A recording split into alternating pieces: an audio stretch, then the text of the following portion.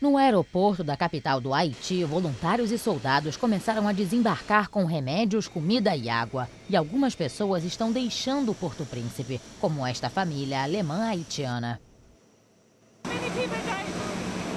Muitas pessoas morreram, tudo está destruído. Nos disseram para ir embora.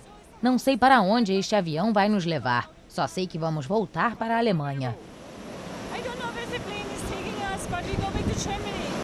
O aeroporto está deserto e operando em estado precário. Nas ruas da capital, tanques da ONU tentam manter a ordem. Não há comida, água ou eletricidade. Ao longo das casas destruídas pelo terremoto de terça-feira, há muitos corpos espalhados. Muitos haitianos perderam tudo e estão vivendo nas ruas. Eles rezam ou cantam noite afora para tentar lidar com toda essa tragédia. Samuel, a mulher e outros familiares conseguiram se salvar por pouco. Salvei meus primos, minha prima e minha tia. Minha casa está completamente destruída, está em ruínas. Estou esperando pelo divino, por qualquer ajuda dos céus. Não sei o que fazer.